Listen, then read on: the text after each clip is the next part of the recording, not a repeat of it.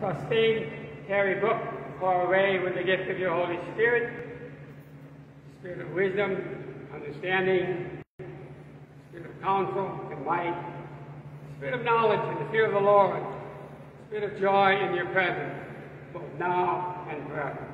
Amen. Terry Book, you've been sealed by the cross of Christ and marked with that Christ cross forever. Terry, you have been sealed by the Holy Spirit and marked with the cross of Christ forever.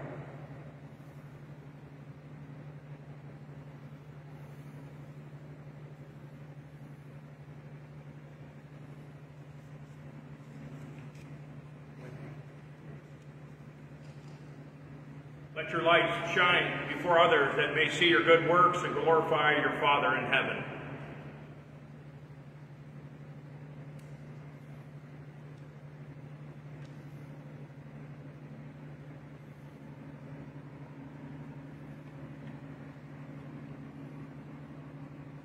Let your light shine before others that they may see your good works and glorify your Father in heaven. Let, it, let us welcome the newly baptized.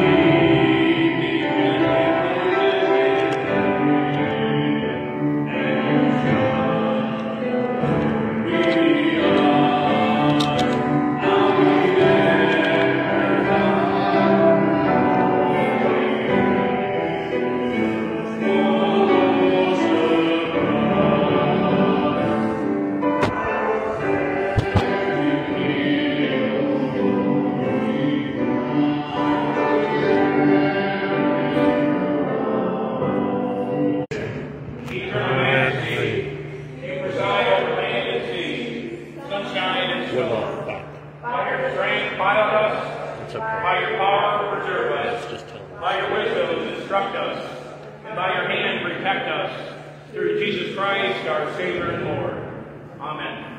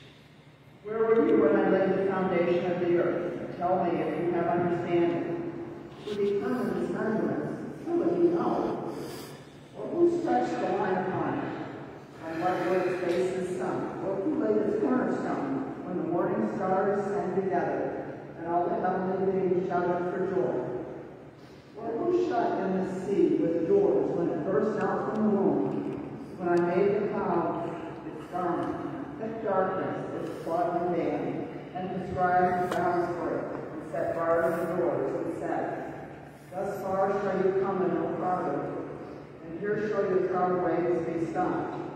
The word of the Lord. Thanks be to God. Let us sing Psalm 107.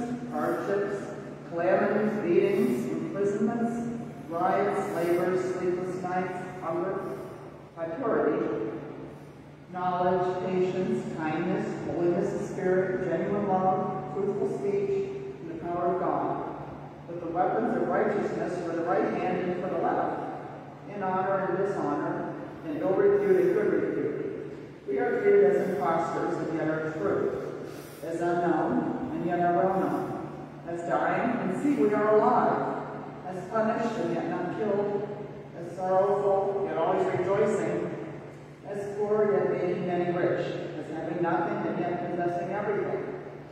We have spoken frankly to you, Corinthians. Our heart is wide open to you. There is no restriction in our affections, but only in yours. In return, I speak as to children, open wide your hearts also. Here ends the reading. Thanks be to God.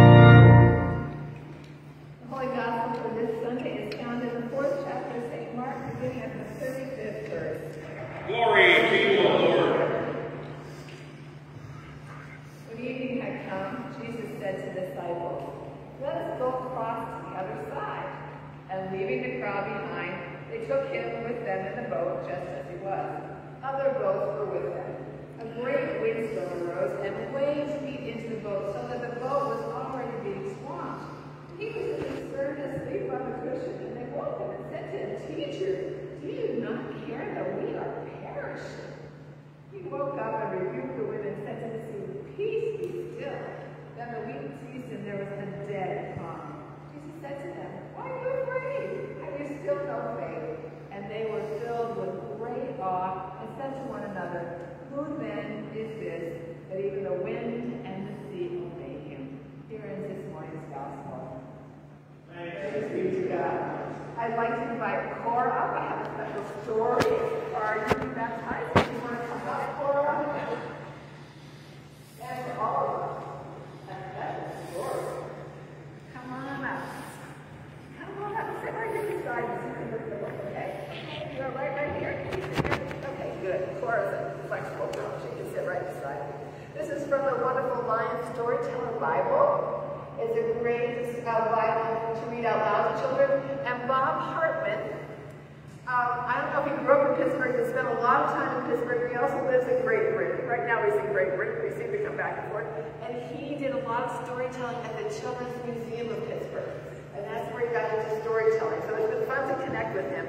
I've actually uh, not really spoken, but emailed him and connected with him. But here's the story. And let me slow down and get my mic. As always, my mic does not like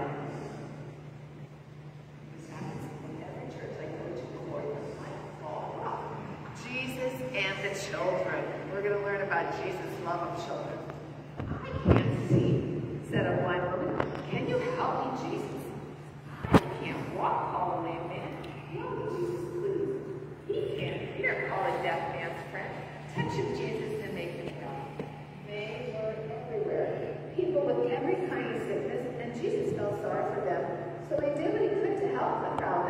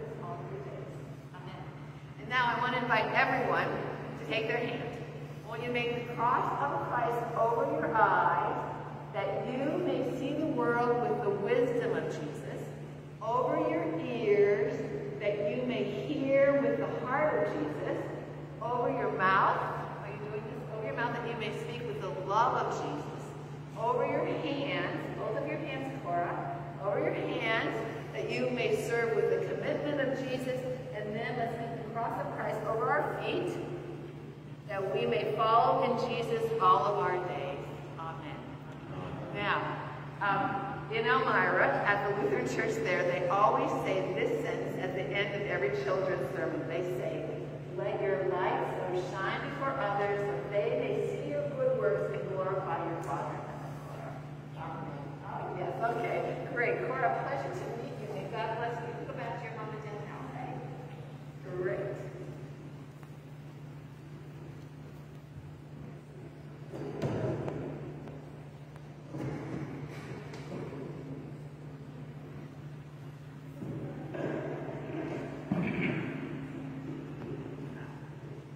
What a special treat to be here on the day of a baptism.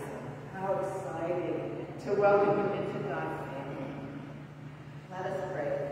Oh, gracious God, may the words of my mouth and the meditation of our hearts bring us all closer to you with a deeper commitment to live in your way and share your love with the world. Amen. Someone said once to John Muir, you know, if you do this and that, you'll be a lot richer than this other person. And John Muir said, I am already richer than him. I have more than enough. In today's second lesson, St. To us as if we are oxymorons. One person said it's a paradox.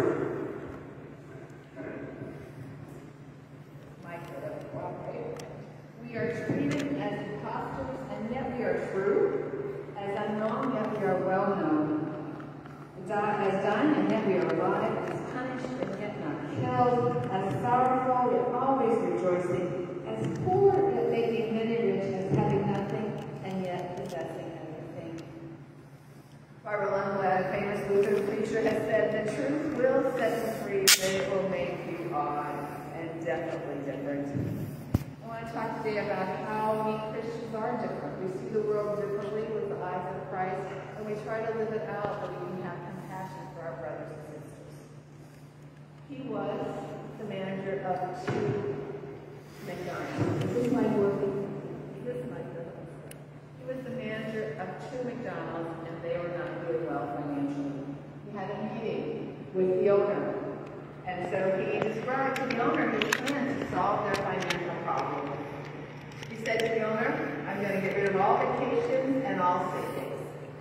And this man remembered quite vividly this was the only time that owners were.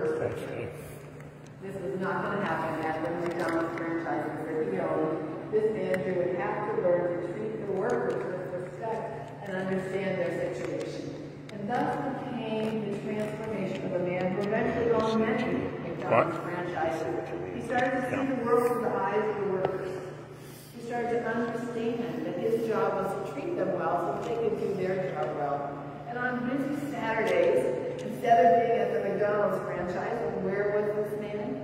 He was at the car auction place looking for cars for his workers. because he knew the only way they could work for him faithfully was to have him rely on God. It was a complete transformation of a man who once thought of his workers as just machines who could punch in out. He was so convinced of this a different way of treating people that he would do workshops for other business owners in the Reformed Church in America. You may not have heard of that denomination, but in New York City, where there are a lot of people with Dutch heritage, it was once the Dutch Reformed Church. And so when I, during my time as a pastor in the Bronx, I met many who part of this Christian denomination. And I read about him and I was struck by his transformation. He was no longer just an ordinary business owner. He saw his workers as God's fellow children and tried, was determined to treat them right, but also to encourage other owners to see their workers in a different way. If you saw the press this week, you probably know that Amazon doesn't see its workers in the same way. And we Christians are called to think about when we make purchases, are the people who are helping us being treated fairly? If you saw this Switch report or heard about it, it's pretty clear that Amazon, Jeff Bezos, sees his workers as lazy and he expects to turn them over. 3% of their workforce is leaves every week. By the end of the year, he'll have replaced every worker one and a half. I'm not sure it's the way any of us would want to be treated. And so today we think about how are we different? How do we see the world differently? And how can we go about making God's always struck by Christians who get into politics who want to establish laws to make God's way into a legal um, prescription.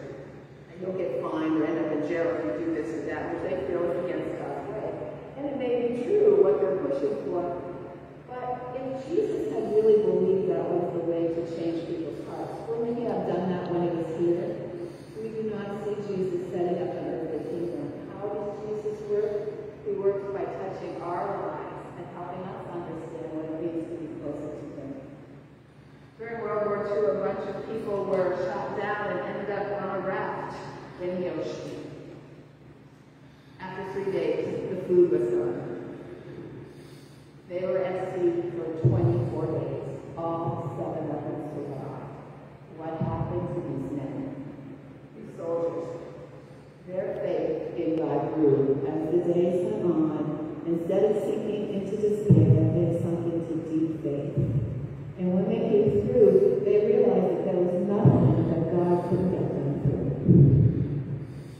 We have all lived through the most stress I've seen on one people in a, lifetime. As I look out at this congregation, I know that all of us have had different times of stress. I have no idea whose child was sick or whose marriage seemed to be falling apart at what time. But there's never been a time when we've all been under such incredible stress. It's hurt so many of us. And so today I want to spend a minute to look at this gospel lesson because it gives us a clear indication of how we can have the deep faith we need to make it through any stress in our lives. It's one of the ways that we are really different. St. Paul says that we are poor, yet we make many rich. And we make many rich because we encourage people to think deeply into faith in God. To understand that God desires good things for all of us. And Jeremiah the prophet tells us that God has a future for us, and it's a future full of hope and good things. Our goal, our goal today, our call today is to trust God completely. Jesus and the disciples are in the boat on the sea, and the storm is raging. I love Jesus. He is sleeping away. I don't know about you, but it's been hard year to sleep at my house. I have a son who's been weirdly sick for three years, and my husband who's stressing out. So sleep been hard to come by, but there is Jesus. The boat is rocking away.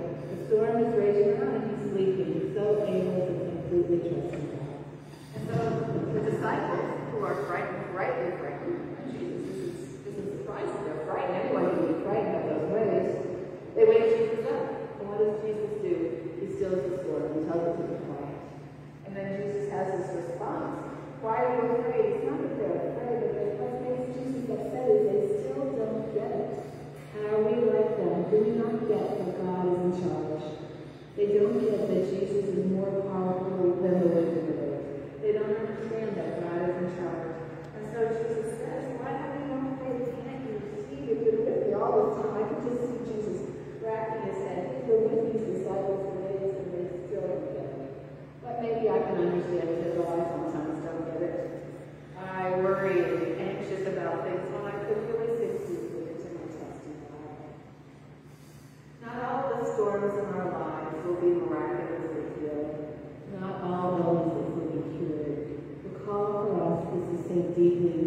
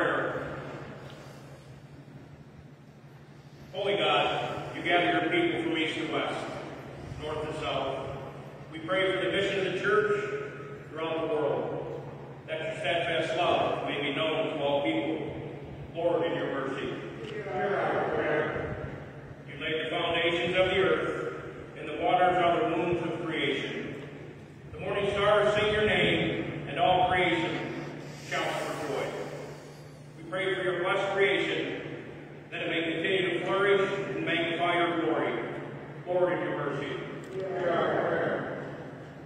You keep watch over all nations. We pray for countries experiencing violence, hunger, and unrest. Guide worldwide and local community organizations in their efforts to establish safety and justice. Lord, in your mercy.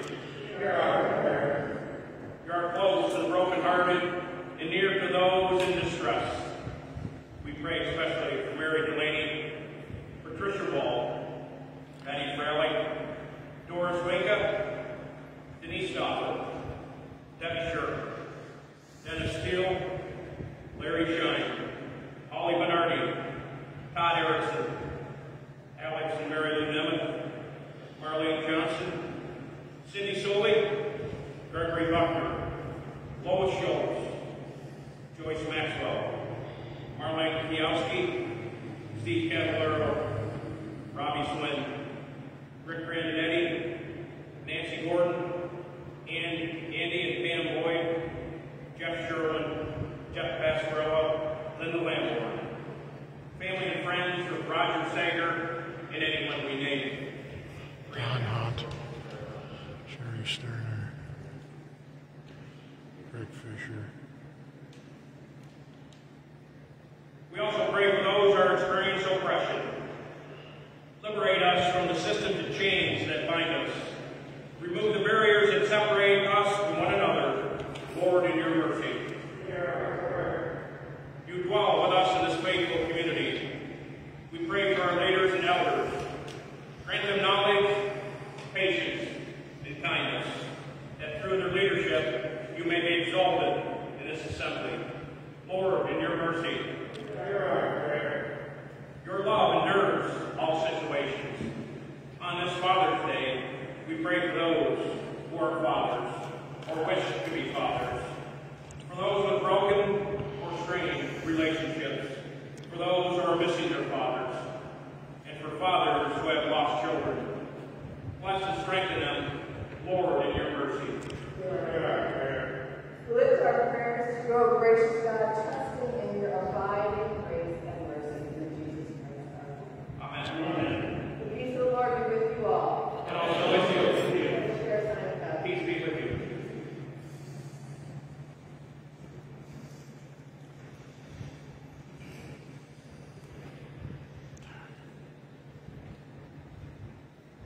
Merciful God, you open wide your hand and satisfy the need of every living thing. You have set this feast before us. Open our hands to receive it. Open our hearts to embrace it. Open our lives to live it. We pray this through Jesus Christ, our Lord. Amen. Peace to you from our Lord, Jesus Christ. When our congregation gathers for the celebration of Holy Communion, we are to get the story of God's mighty acts and the love shown us in the death and resurrection of our Lord, Jesus Christ. With thanksgiving, remember that in the night in which he was betrayed, he took the bread, gave thanks, broke it, gave it to the disciples, saying, Take and eat. This is my body given. Do this for the remembrance of me. Again after supper, he took the cup, gave thanks, and gave for all to drink, saying, This cup is the new covenant in my blood, shed for you and for all people for forgiveness of sin. Do this for the remembrance of me. We were given assurance of our Lord's presence through the gift of His Holy Spirit. Now we bring to you the same bread of life and the same cup of blessing, that you may be strengthened your participation in the body of Christ. Lord, remember us your kingdom and teach us to pray. Our Father, who art in heaven, hallowed be thy name. Thy kingdom come, thy will be done, on earth as it is in heaven. Give us this day our